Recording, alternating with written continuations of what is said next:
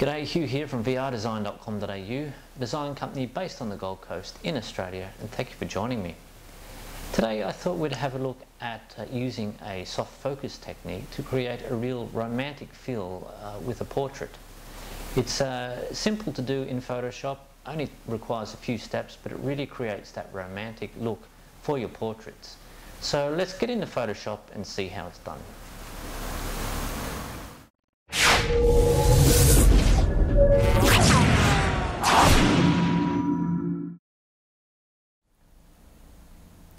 Okay, so we have here a quite simple portrait with some nice uh, soft light in the background. And what we'll do is we'll use a soft focus technique to make this portrait look a little bit more romantic.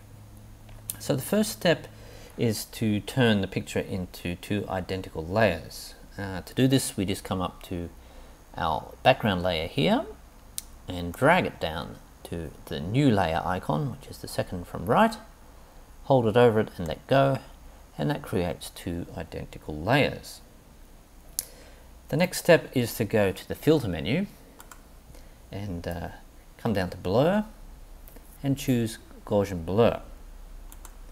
Now this is a, a really cool blur and it can uh, it can have all sorts of different effects on your picture. So what we're going to do is we're going to blur this to about 10 pixels. So by sliding it up to the right there. Then we can also just type in 10 to go there real quickly if we want to. So we'll set it at 10 and uh, for, that's probably going to be good for this uh, photo looking at the hair and the background that we have. So we say OK to that. Now yes, it does look all blurred out. We can switch off the top layer and see where we're going to be blurring. But we obviously want to retain details in the actual face. So what we want to do is probably reduce this uh, layer's opacity down by a fair bit to about 60%. And that will give us um, uh, a little bit of chance to sharpen some things. Uh, it depends on, on your picture and what you think um, needs to be done. Um, but that's a good start because her face is now becoming a bit more detailed. Now we've got other options here of um, you know using masks, but to do it simply, we can actually just grab a uh, elliptical marquee tool and just choose that sort of area that we want to sharpen up and keep everything else quite soft. So we don't want to infringe too much into the hair there, but uh, somewhere around there would be quite good.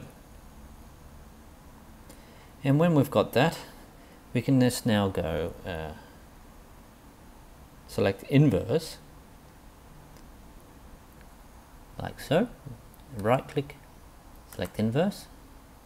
So that uh, gives us basically the, uh, the whole of the outside of that circle, uh, keeping it blurred. And now we can go uh, to a lens blur and uh, really just really blur out the background. So come up to filter, blur, lens blur, wait for it to load up. And we're only looking at the background here. And uh, so we will just bring that radius down because it's majorly high at the moment. So bring it all the way down. Somewhere around sort of the low 20s. Or just below it. So it gives us a nice uh, blurred effect. So we can just go Control D to deselect that. And now what we can do is just uh, zoom in on the face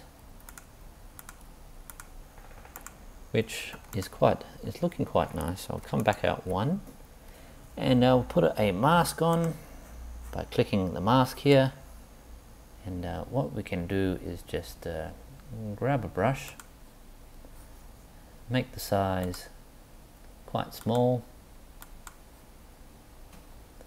maybe around the 200 mark somewhere around there so what we want to do is because it's a white mask we want to flip the colors so black is foreground and we just want to bring in just that little bit of detail. Now that looks pretty good because there's a detail in the, the eyes and the mouth. So we can just uh, fit the screen. And how much better does that look? So this is uh, quite a nice portrait, but it's harsh. The lines are harsh, the colors are harsh. That is much more romantic looking. Now we can play around with some of the colors and that to make it even more romantic, but look at the glow in her hair and the background and just uh, with the dress. I mean, we could come back to our mask here, come back to our brush and just brush in some detail on the dress there. It's quite nice. So bring that in. Because that is quite a nice feature of this particular picture. But yeah, we don't need to do too much more than that and then we can compare the before and afters uh, for a very you know, romantic looking photo. Very nice. So that's all you need to do really to use Photoshop to create quite a romantic looking portrait. Uh, you could do this for a wedding photo, for a glamour photo, just for uh, any sort of portraits that you have. Pay attention to you know fine details like this and obviously facial areas that you don't want to have too blurred out but the background and even uh, you know the the skin and the arms and the hair all blurred out so it's soft focus technique so it looks like we've used uh, a camera which really really has uh, a shallow depth of field okay so that's all for this tutorial. I hope you've enjoyed it. Join me again in the future for another one. Bye for now